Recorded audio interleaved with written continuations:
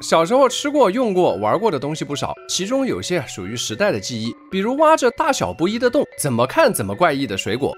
八十年代中期，老太经常带着我走过门前蜿蜒曲折的小巷子，去到马路对面一家叫红叶子的水果店里买水果。那是个物质生活匮乏的年代，我们家除了我之外，就只有爸妈和老太。我爸的厂啊，当时效益又不好，于是两个女人勉强负担起了家里全部的开销。她们必须精打细算，才能尽量维持家庭的正常运转，尽量让我吃饱穿暖。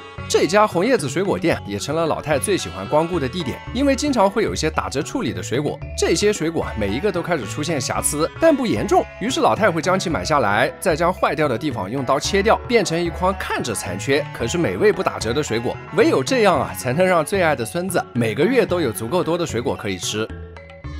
几十年后的今天，城市和居民的生活早就大变样，再也不用为吃的用的发愁。可真的回想起来，最开心的始终还是童年时光，没有长大后工作生活上的烦恼，所有的一切都是那么的单纯美好。也因为如此，只要碰到跟童年相关的游戏，我总是会多看几眼。记得两千年的夏天，第一次在 PS 二上玩到《我的暑假》，当时就被吸引住了。我从来不是个什么文艺范儿的人，玩游戏也比较重口，但偶尔玩点像《我的暑假》这种小清新的作品啊，也是很疗愈的。此后的续作也玩了一段时间，不过这个系列似乎从二零零九年起就陷入了沉寂，一直到今年，其精神续作《生夏时光》二十世纪的暑假才姗姗来迟。这是由我的暑假系列的生父林布和开发的真正的精神续作，开头啊就能让老玩家感受到那股浓浓的怀旧味儿。故事发生的时间不是现在，而是上世纪末，也就是一九九九年的八月。主角是个十岁大的孩子，在暑假期间跟随开马戏团的爸妈一起去到埃草丁生活。马戏团要在这里进行为期一个月的公演。在抵达目的地后，表演用的帐篷很快就支了起来。父母和其他马戏团的成员都开始为工作忙碌。主角也就是我，则寄宿在一个名为“明日夜庄”的民宿内。民宿的主人名叫今日子，也负责大家每天的餐饮。游戏里的主角是不用吃中饭的，他每天只会早晚各吃一顿饭。这么安排的原因嘛，我想啊，大概是为了不让玩家们白天的行动被打断吧。在今日子的带领下，到自己房间安顿下来，又顺手写了篇日记，接着便可以自由探索了。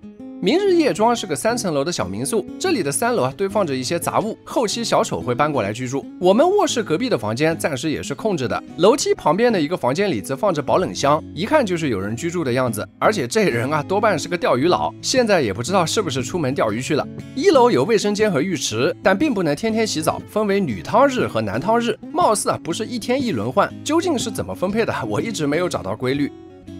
矮草丁是个很小的小镇，这里空气清新，风景秀美。爸爸小时候啊就在这里生活过蛮长一段时间，如今我们也追随爸爸的脚步，趁着暑假体验悠闲悠闲的小镇生活。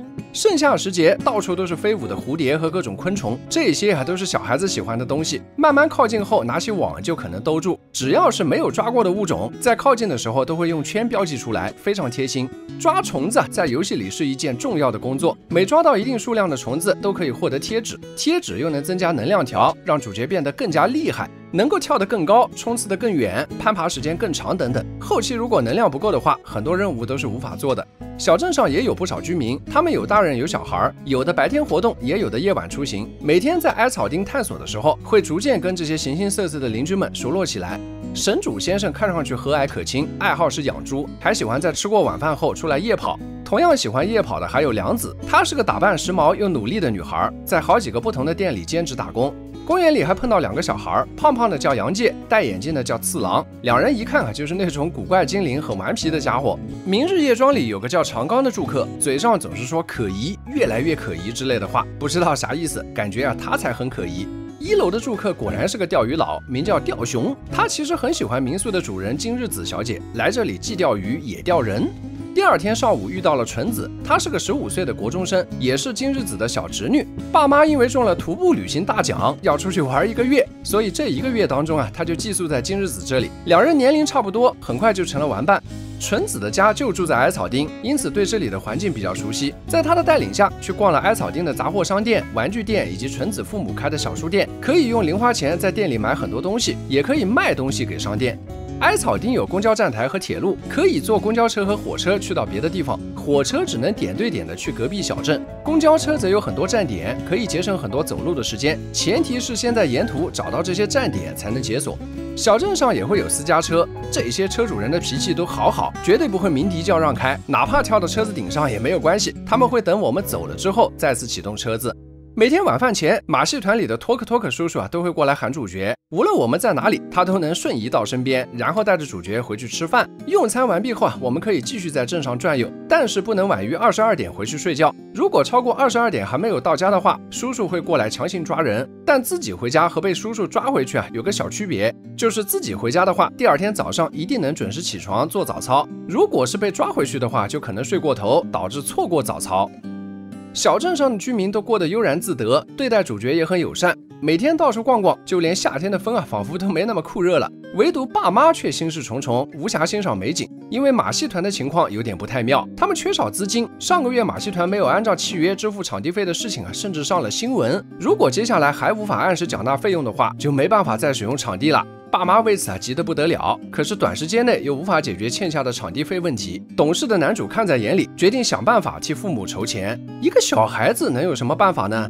哎，还真有。镇上有个叫秀仁的新闻记者，一心想弄点号外新闻材料，为此啊拜托我们去帮忙弄新物种的图鉴，其实就是各种各样的东西，包括蝴蝶、昆虫、各种地上捡来的钻石什么的。所有这些东西啊，主角都会画下来，他的画便是图鉴。只要达到一定的数量后啊，便可以交给记者换取报酬。比如五十个他付五百块，再给五十个他付一千块，以此类推，越给越多。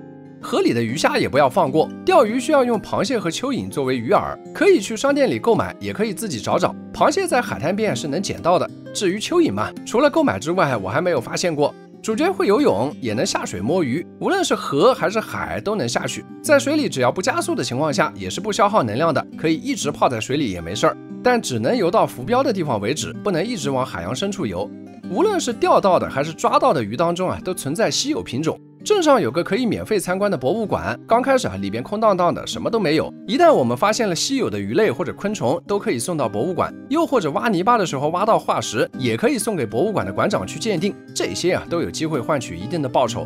在涩谷商店的旁边有一间房，门上贴着“侦探事务所”，看上去很神秘的样子。其实是刚才夜跑遇到的杨介和次郎等几个熊孩子搞的，专门调查镇上各处的谜团。比如杨介最近就发现，通往神社的路灯啊，好像变暗了很多。他的直觉是对的，原来本地的小小神明在搞恶作剧，把其中的几盏给关掉了。主角个子矮啊，手够不着灯台上方的开关，刚开始也没有那么强的弹跳力，怎么爬上去啊，就变成了一件很头疼的事情。比如这里需要先爬到旁边的树上才能跳上灯台，这里则需要先爬上屋顶，然后跳上第一个灯台，再跳到第二个灯台上才能打开。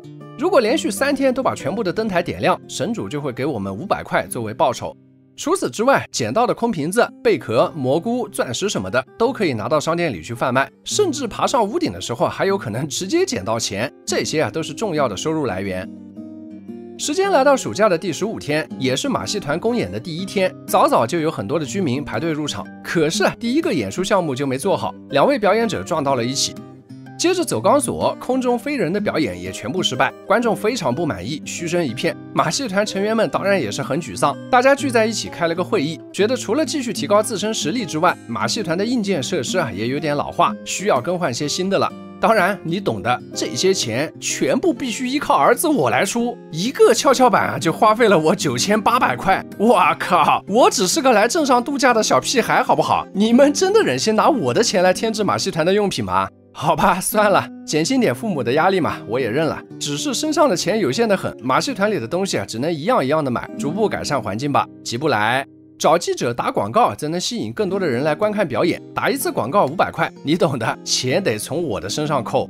随后我又给表演空中荡秋千的小拉福买了身新服装，甚至还因为意外的原因替代拉福表演了一场空中荡秋千。在我的努力下，演出场场爆满，观众掌声雷动，马戏团真的越来越好了。人生总是充满相聚和离别。这段时间，钓鱼大哥、涩谷商店的老板等人都因为各种原因纷纷离开了小镇。快乐的暑假生活也总有结束的一天，纵有万般不舍，也必须开启人生的全新阶段了。